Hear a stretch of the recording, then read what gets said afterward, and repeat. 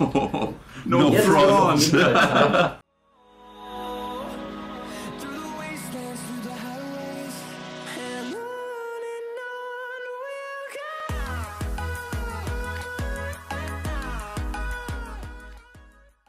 Aber ich würde sagen, wir gucken erstmal Shisha safe. rauchen mit Sektglas.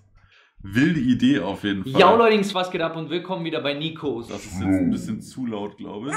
Leutings, willkommen zu einem neuen Video auf dem Kanal. oder? Eigentlich hieß Ja, ja, wir laden alle laufen. zwei Tage ein Video hoch. Ich habe mal aufs Datum geschaut und habe gemerkt, aha, zwei Wochen schon wieder her. Habe ich wirklich gesagt zwei Tage oder zwei Wochen?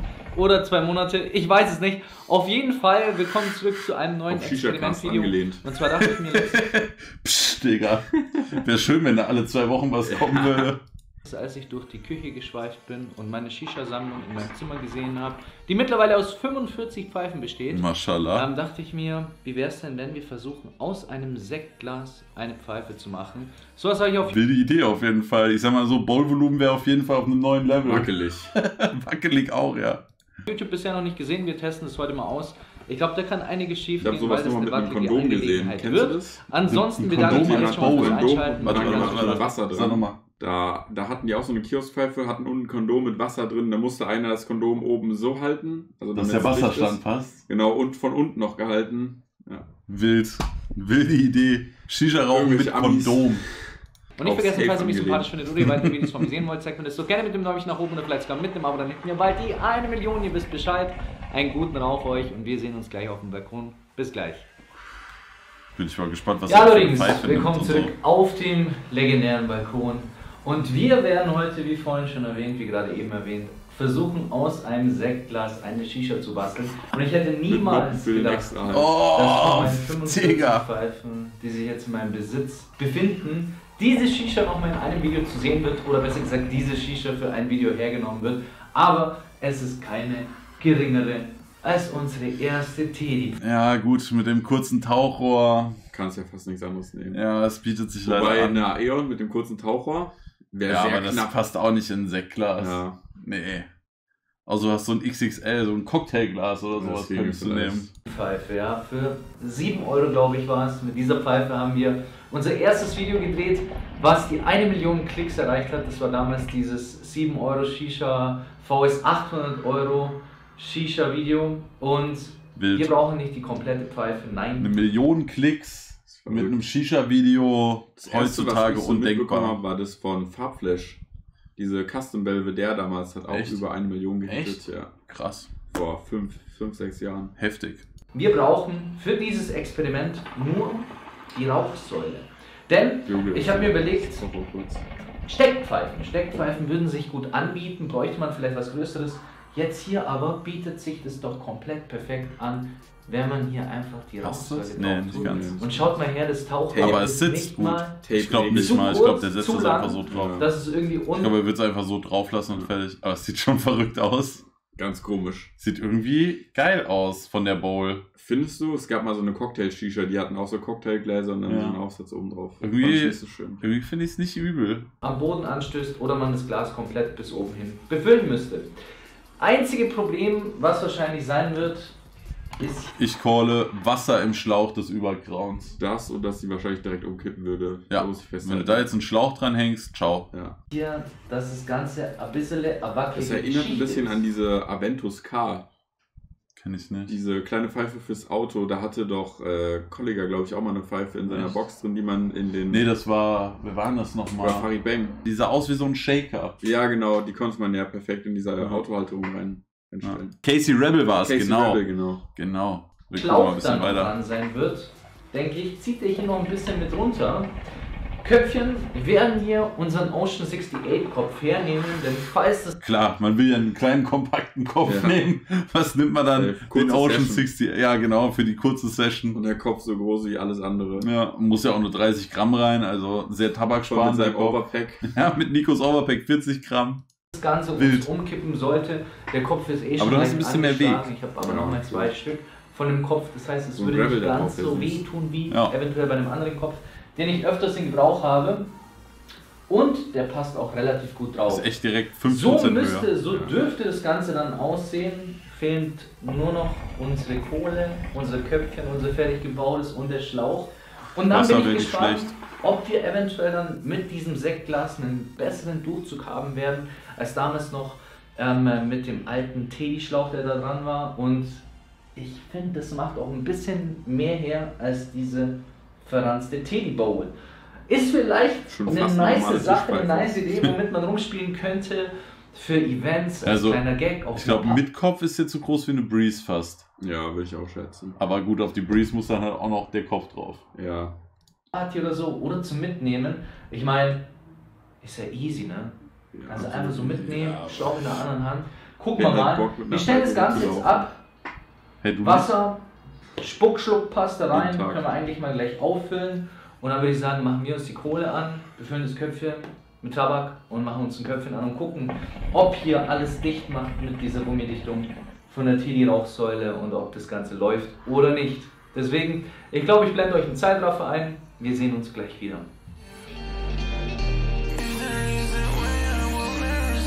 Boah. Ganz knapp.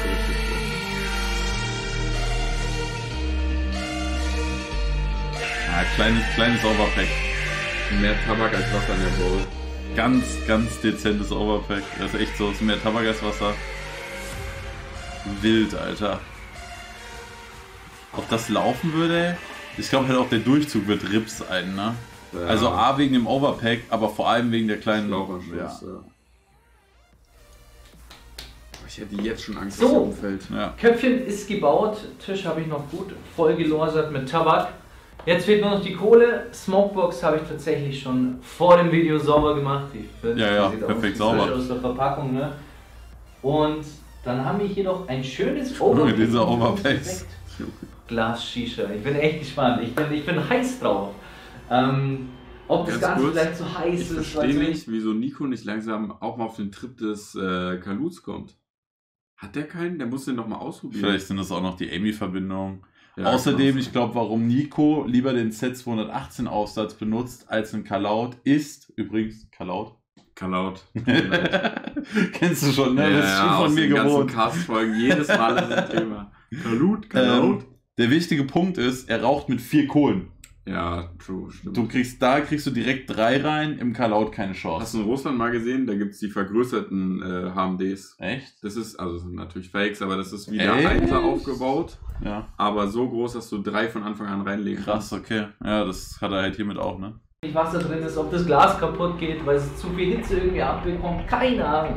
Auf jeden Fall freue ich mich. Wir machen jetzt noch die Kohlen an und wir sehen uns jetzt gleich wieder mit Kohlen. Sind bis gleich. So, unsere Kohle ist fertig. Zum Glück hält das Ding Oh noch stand, ist noch nicht umgekippt. so Das. Einzige, was uns jetzt noch Okay. fehlt, ist unser.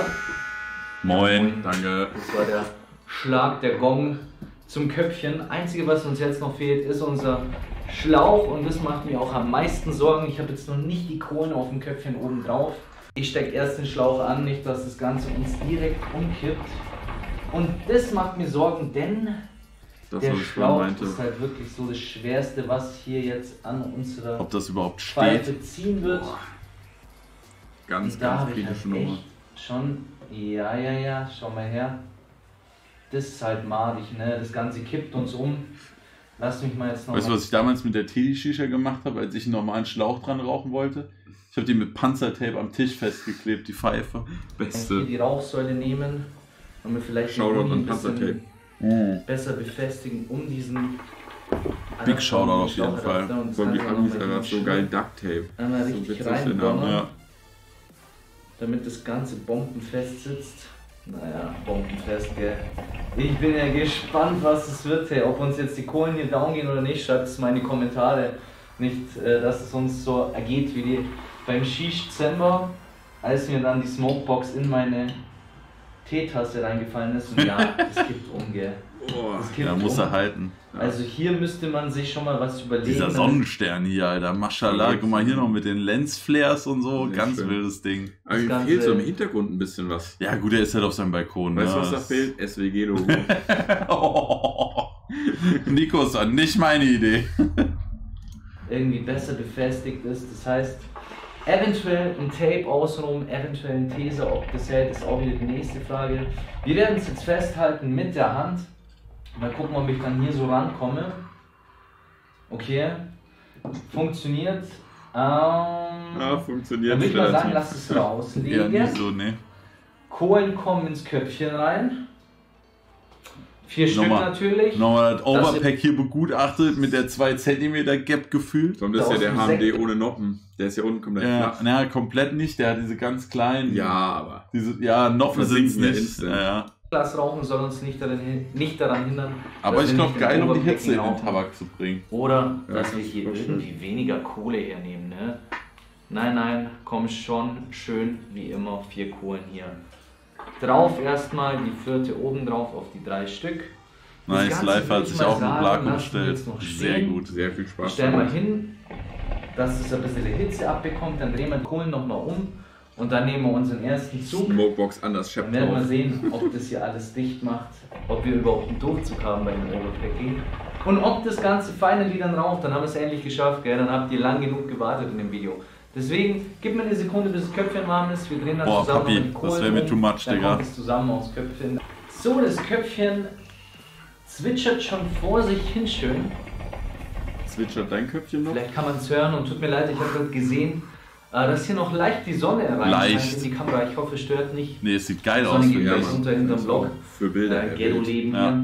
Aber wir Das hatten sieht ganz ehrlich, schönes wenn du das Bild hochladen würdest, würde jeder sagen, das ist doch fake. Ja. Guck mal hier, was für wunderschöne Lensflares, ey. Das ist echt krass. Richtig geil. Ja, ich hoffe, ihr habt das Wetter heute auch noch genossen. Bei uns soll es am, äh, am Freitag oder Samstag soll es schon das erste Mal schneien, ja. Richtig crazy.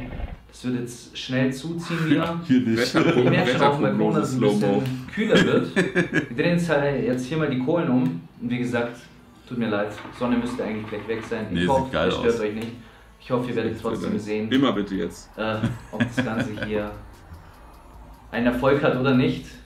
Ja, Wow, Bruder, was ist los, ey? raucht, wenn ich es anpuste, schon mehr als in der Shisha-Bar. No jetzt front. Zeit, dass wir hier mal ziehen. Und jetzt kommt es zum Showdown. Ja. Habt ihr schon abgestimmt, ob die Kohle umfliegt oder nicht? Ich hoffe, der Schlauch Also, solange es sitzt fest. festhält. Ich glaube, wir positionieren lieber mal äh, das Sektglas noch ein Diese bisschen weiter in die Mitte. Falls mir dann doch hier das Ganze down geht.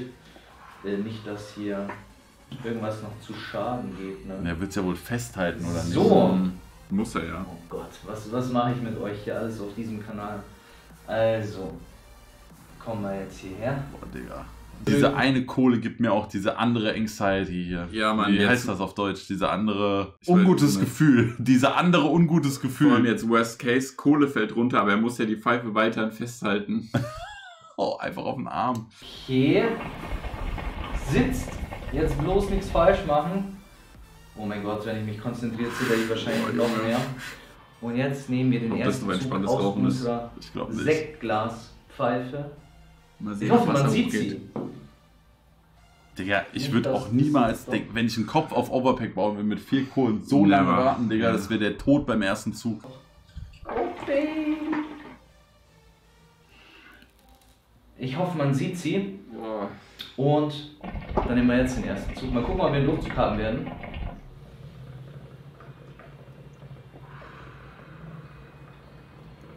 Der Durchzug bei der Teddy Shisha wird nicht so geil sein. Ja. Sheesh, es blubbert unten. Hua. Aber Ist bisschen warm Anzug, den du je gesehen hast. Ich Was? Angst, wenn ich zu Direktester fest Anzug, den du je gesehen hast. Safe. Kleinstes ziehe, dass eventuell Wasser in den Schlauch reinkommt. Aber lass mal ein bisschen fester dran ziehen. Aber so hoch sprudelt das Wasser gar nicht. Sieht gut aus. Das Ganze, Nee, Wasserstand sieht würde ich mal aus. sagen, raucht schon fast wie ich sehe euch nicht mehr. Man sieht auch, die ersten Molassentropfen kommen hier Stimmt. runter in unseren Anführungszeichen Bowl von dem Sektglas. Also haben wir auch noch hier, ihr seht schon, ich arbeite mit Effekten, ich arbeite mit Farbe. Ja, das ist absolut crazy. War krass auch, wie sich die Molasse da unten absetzt. Aber das waren jetzt drei Züge, zwei Ja. Züge und das Wasser ist unsere Sektglas-Shisha absolut gar nicht.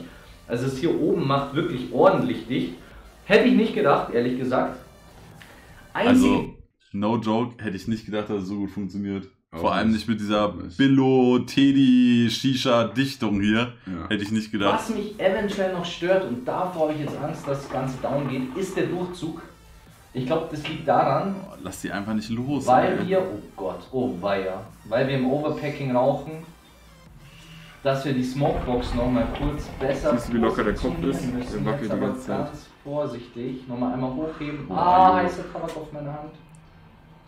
Hochheben, kurz bisschen drehen, wieder runterlassen. Okay, okay, okay, okay.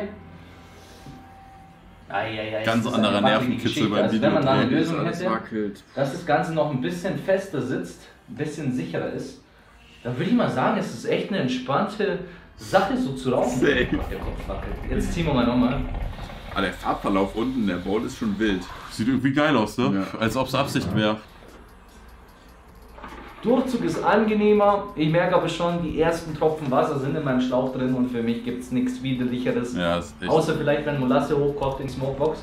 Aber für mich gibt es nichts Widerlicheres, äh, wie widerlicher. wenn Wasser im Schlauch ist. Aber es funktioniert, Leute. Der, Das das, Experiment war ein voller Erfolg. War nice, dass wir es ausprobiert haben. Würdest du sagen, das ist ein voller Erfolg? Also es ist funktioniert, aber das, ist- Also ganz ehrlich, dafür, dass er ein Sektglas als Bowl nimmt, würde ich Ja, sagen, okay, yo, das safe, ist ein voller. safe. Ja, also das wäre jetzt nicht mein neues Everyday Setup. Da lässt sich nicht meckern, obwohl wir die Rauchsäule von der Teddy Shisha hernehmen und obwohl die innen drin nicht den größten Durchmesser hat, lässt sich das echt entspannt rauchen. Ja, merkt man gar nicht, dass wir hier mit einer 7 Euro Rauchsäule rauchen, wahrscheinlich noch billiger in der Produktion.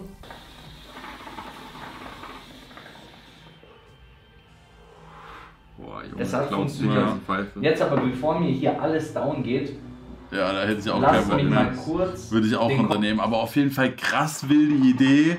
Jo. Sehr, sehr nervenaufreibend umgesetzt auf jeden Fall. Aber mal wieder ein sehr nices Video von Nico. Feiere ich allgemein, dass immer so innovative Sachen kommen. Also jetzt vor Ja. allem Swishy, aber auch, dass sowas ausprobiert wird, Ja. ist sehr nice.